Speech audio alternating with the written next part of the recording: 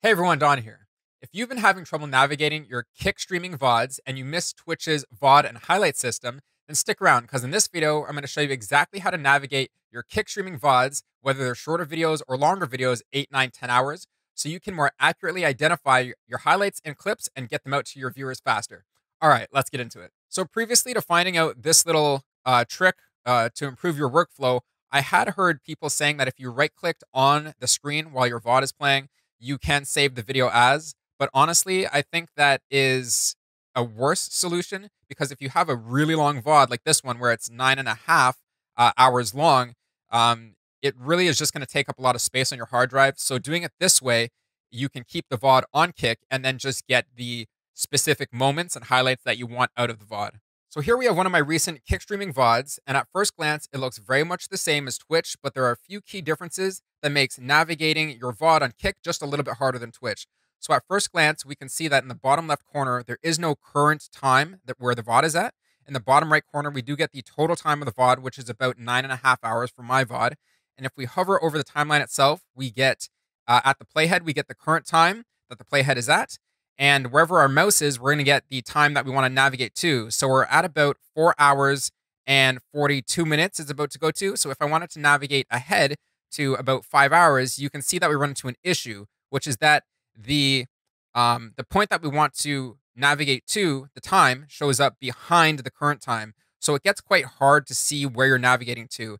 And also on a VOD this long, nine and a half hours, it gets pretty hard to um, see if you're trying to pick out a highlight or a clip that is 15 seconds, 30 seconds, or even one minute long. So what can we do? You'll notice that if I tap left and right on my on my keyboard here, I don't know if you can hear that, but nothing's happening. We're not navigating, the VOD's not moving. So what do we do? This can be very frustrating if you're just trying to use the mouse to navigate back and forth between the VOD and find specifically the spot that you're trying to go to.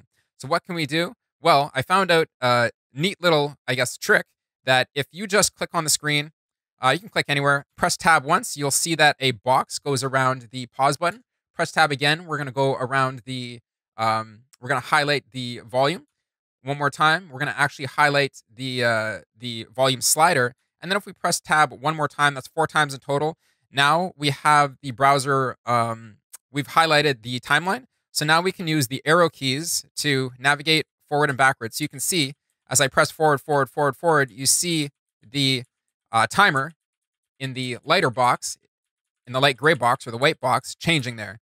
So this is how we can use our keys to sort of like emulate Twitch's highlight system, where we can, um, if we see something that's really cool or a funny moment or something like that, we can quickly tap our keyboard back or forward and then quickly hit record in OBS to get that highlight. So that's just a little trick I found out to navigate through your VODs on Kick a little better. I'm not sure if streamers knew this or, or many people knew about this because um, on Reddit and all through Twitter, I'm seeing a lot of people ask, you know, um, how can I how can I navigate my VODs? How can I download my VODs? Um, my editors need highlights. We need clips. You know, uh, certain people are saying that clips aren't working for them. Clips aren't working for me. I know that. So, um, you know, coming from Twitch, I had a system being a content creator myself where I need I need content, I need clips every day.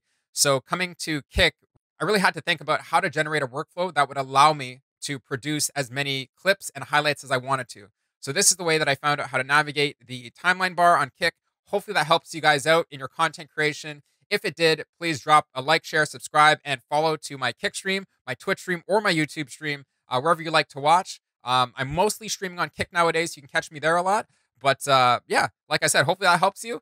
Um, and I'll catch you guys in the next one. All right, bye.